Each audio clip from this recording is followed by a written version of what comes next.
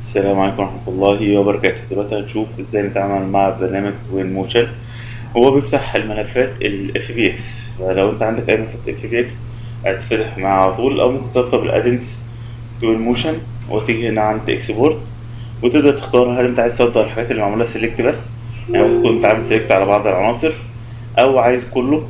ال texture عايزها تنسخ معاك ولا لأ؟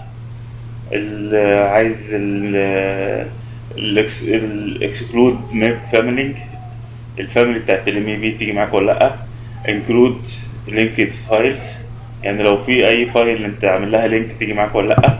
وبعد كده هقول له export فيصدرها لي على هيئه ملف FBX وبعد كده هروح أفتح التوين موشن وأقول له import وأقول له open وأروح فاتح الملف ال FBX open وأقول له okay فهيبدأ يقرأ ال data. بالشكل دوت اهو الملف أهو موجود معايا. أهوت.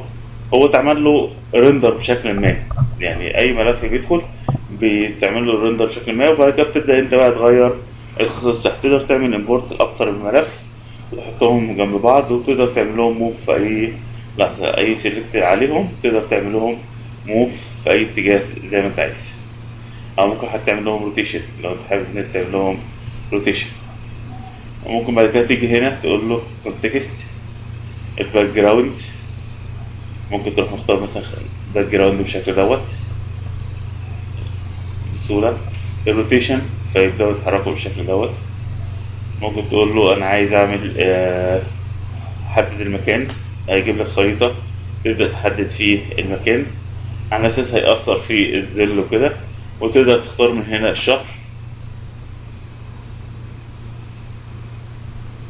واتجاه الشمال نقدر نتحكم فيه بسهولة زي ما انت شايف. وبعد كده تقدر تاخد صورة ايمج أو بانوراما أو فيديو أو بموشن زي ما انت عايز.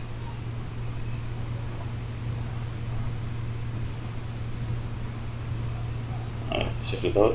وتقدر في أي لحظة تغير الوقت.